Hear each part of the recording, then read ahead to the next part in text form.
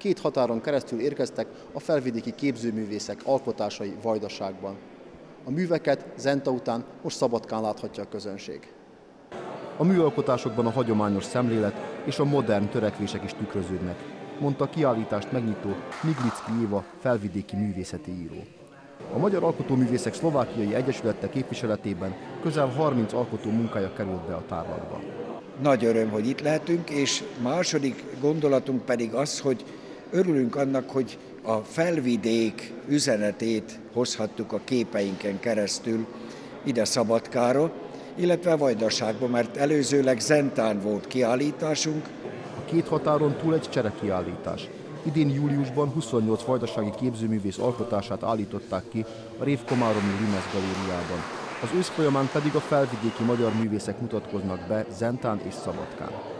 Tudjuk azt, hogy rettentő komplikált egy határon átvinni a műalkotásokat, rengeteg sok engedély kell, és itt még plusz még két határ is van, úgyhogy ennek a jelentőség ez is emeli.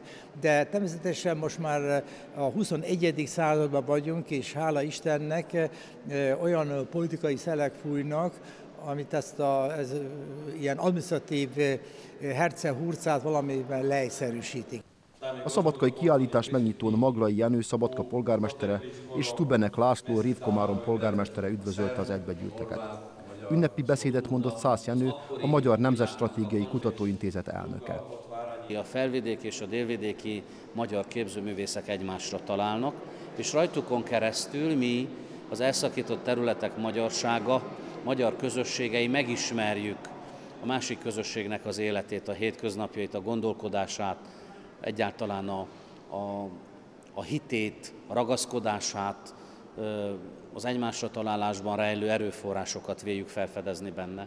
És én azt gondolom, hogy így kéz a kézben tudunk közös jövőt építeni. A két határon túl című kiállítás megnyitóját Bakos Árpád és Miroszláv Jovancsics muzsikája tette ünnepélyesebbé.